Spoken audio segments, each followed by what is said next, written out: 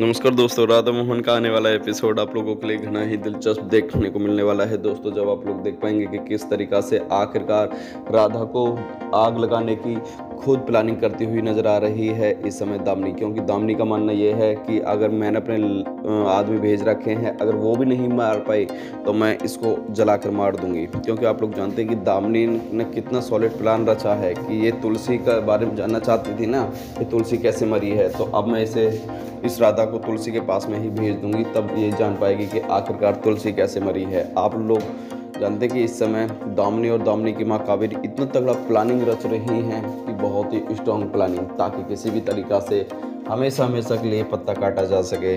वो भी किसी और का नहीं, बल्कि सीधा सीधा राधा का। क्योंकि राधा को जान से मारने की प्लानिंग रचना, ये बहुत बड़ी बेवकूफ़ाई करती हुई नज़र आ रही आ रही है। हालाँकि दोस्तों, राधा को कुछ नहीं हो पाएगा क्योंकि एट ए टाइम ही वहाँ पर मोहन आ जाता है। और आप लोग जानते हैं कि मोहन के होते हुए ऐसा कुछ हो ही नहीं पाएगा, क्योंकि मोहन जहाँ पर अपने गर्म तेवर और गर्म मिजाज करता हुआ नज़र आने वाला है और बोलता हुआ भी नज़र आएगा ये क्या कर रही हो तुम दामनी?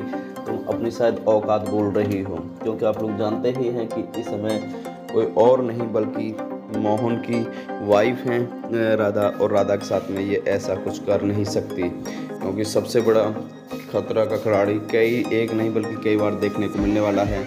जब आप लोगों के बीच में कहानी में एक और नया टोस्ट आता हुआ नज़र आने वाला है, क्योंकि दोस्तों दामनी को तो आखिरकार सभी लोगों के सामने एक्सपोज होना ही पड़ेगा दोस्तों, क्योंकि उसकी हरकतें जो हैं, वो लगातार संदिग्ध के घेरे में हैं, क्योंकि दामनी हमेशा से ही उल्टा उल्टा चीज़ करती हुई नज़र आई है और अब उल्टी चीज़ क्या करेगी, वो देखना दिलचस्प होगा। साथ ही दोस्तों, चैनल को सब्सक्राइब करें, वीडियो को लाइक करें